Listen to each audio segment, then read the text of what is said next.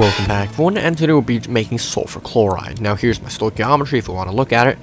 So we're going to add 192 grams of sulfur into a 500 milliliter 3-neck flask with a gas inlet tube on the side there. I just used a glass tube going through a thermometer adapter.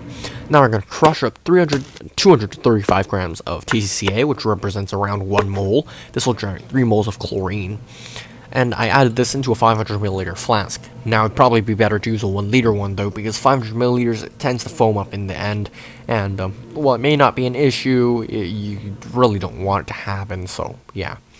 Now we're going to wash it down with 100 milliliters of water to form a slurry. And this is because the cyanuric acid formed in a reaction sort of inhibits further chlorine generation, so a tiny bit of water helps a bit. On top of there, I added a greased addition funnel filled with 300 milliliters of hydrochloric acid. Now my addition funnel is not quite large enough, so I added up saving a tiny bit of hydrochloric acid for later. Now we're going to set up a drying tube to dry your chloric gas. You could use a sulfuric acid bubbler, but I found it's unnecessary, really. So, simply a cotton plug, some calcium chloride, and another cotton plug on top to seal it off and I could not find the normal rubber stopper I used for the drying tube, but I did find this rubber hose over 1420 thing fit over fit very well in the drying tube, so I used that instead. And I hooked up the chlorine generator to the to the inlet tube for a flask. Now, I would use this short path distillation apparatus because it's very efficient to distill sulfur chloride, but I don't want to mess it up in case the sulfur comes over. Foreshadowing. So I set up with a Dimroth instead, and I turned on the uh, heating mantle to melt the sulfur, and after the sulfur was molten, I started up the chlorine generation. And uh, you'll see the mistake I did later. So the sulfur's foaming over. Wanna know why? I turned the heating up too much, and the sulfur was near boiling. And because of that, when I introduced chlorine, it reacts very vigorously, forming the sulfur chloride, which dissolves into the sulfur, and then immediately flash boils out to cause foaming. So yeah, you want sulfur to be molten, but not too hot. So after an hour later, because I was tired and didn't want to deal with it, I cleaned it up, heated it enough that the sulfur melts, but not near boiling, and I introduced chlorine, and you can see it was a pretty smooth reaction. Nothing foaming. So yeah, you can see our yellow liquid starting to reflux in the flask, and that is our sulfur monochloride, but we're getting a red distillate, and that's because there's a bit of excess chlorine in the apparatus. So after a little while, I set up the chlorine generation to be a bit slow, but not too fast, and not too slow, because otherwise it would be a waste of time, and we're getting a nice distillation rate of sulfur chloride. So at this point, it's pretty much smooth sailing, nothing to do, otherwise keep an eye on the apparatus to make sure it doesn't foam over. And here you can see what I mean about the um, chlorine flask not being large enough. The TCCA foams up because of cyanuric acid forming. It's not really an issue for me though, because I set up the apparatus in a way that even if it foams, it would never reach our sulfur flask and explode from the uh, violent boiling. So yeah. oh well. And uh, after a little while, I did add up the add in the extra hydrochloric acid in, so hooray. But uh, yeah, I do want a larger addition funnel. I already have a pretty large one, but I want another one. So yeah, pretty much nothing else. You can see chlorine generators generating very vigorously towards the end because I set it up to do that. And sulfur is boiling, not boiling, sulfur is reacting pretty well. And eventually I blew the rubber seal on the um, glass too because uh, rubber, yeah, rubber really does not like hot sulfur chloride.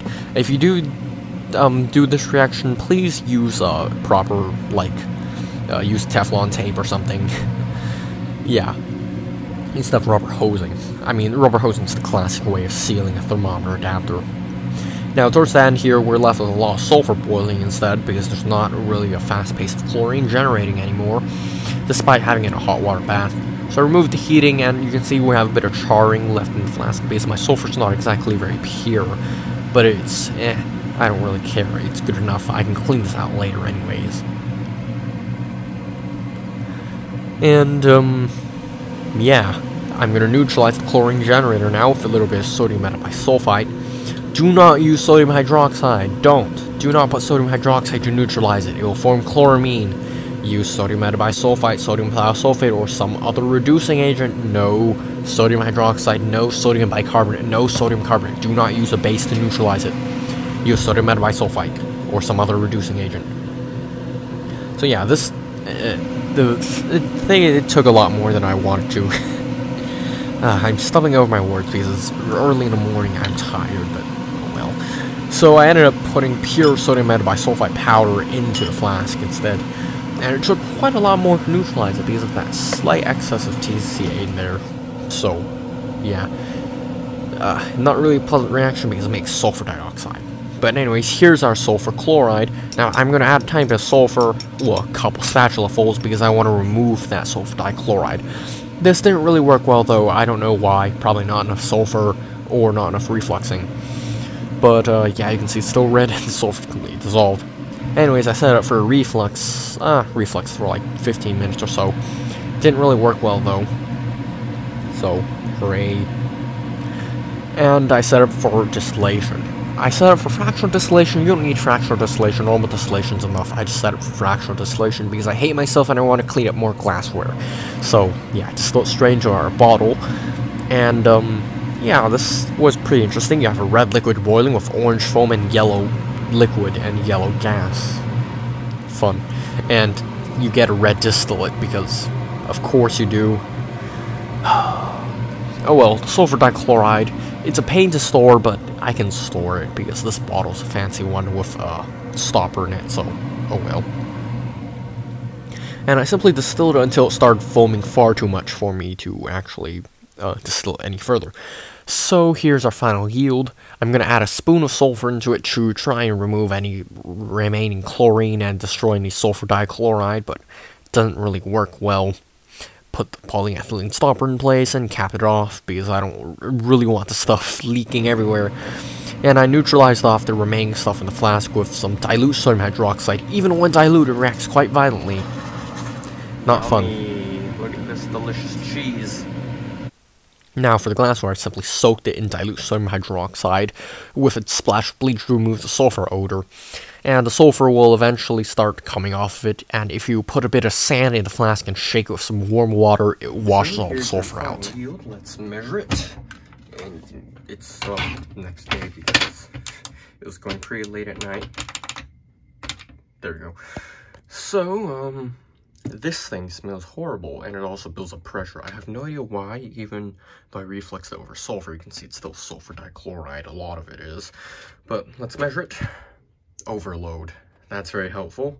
Well, we can estimate it's around 150 milliliters, so let me get out my, uh, this thing, where I expect around 239.9 milliliters, so let's round up to 230 we have approx no why? We have approximately um 62.5% yield which is uh not too bad actually. I was gonna say miserable but no this is actually pretty good for how um messed up the setup was especially with that sulfur um molten sulfur spillover. But yeah this is not too bad but i'm still i'm still annoyed that's mostly red. So because it's sitting overnight, let me just turn on the fume hood so I can vent this. Because I do not want this thing to burst the bottle. So, we can remove that. You can see. Now I'm just going to take this and pry this stopper up. I can smell it already. I want to turn the fan up a bit more god-awful smell. Tom describes it really well. It smells like Satan's asshole. So, very carefully. Last time I did this, it sent the stopper flying, so hooray, I guess? Okay, not too much pressure this time. Uh, my hand smells bad again. Oh well. So keep this thing at room temperature. Nah, maybe in the fridge. Yeah, the fridge, because I don't want this uh, thing being very annoying. I mean, it does not really... Okay, never mind. There's a smell escaping here. Okay, so yeah, I do want to put this in the fridge then. Uh, maybe in a bag with some sodium bicarbonate as well to remove the smell, but we'll be using this in an upcoming video to make Tom's arch nemesis because, I mean, it seems like a fun energetic, I guess. Uh, ever since I moved that water pump up there, it's been siphoning everywhere. so yeah, we'll be using this fake Tom's Arch Nemesis because um, SN, uh, S4, N4 seems like a pretty interesting thing. So I want to try doing that. And I have DCM now. I bought some, so well, the EPA is trying to ban it now, so I'm gonna buy a few more gallons. But uh, yeah, so I think I'll try doing that. Um, I need to buy some more urea or ammonium sulfate to make ammonia gas with, but that'll be a fun video, so look forward to that. Here's this nasty chemical, really annoying stuff. Fumes in air very angrily, put in sodium hydroxide and explodes violently with steam. So, um, you guys enjoyed this video despite it not being sulfur monochloride, it's more dichloride than anything. But uh, yeah. Called tetrasulfur tetranitride. This guy said it was a great explosive because it was so easy to make. All you need is toluene, sulfur, dry ammonia, dry chlorine. Hey, that sounds pretty easy. Fucking easy as, just the best explosive, no worries. Well, I tried it a few years ago and the fucking synthesis nearly broke me. It's easy and convenient. If it actually bloody worked! Eat mega shit dicks.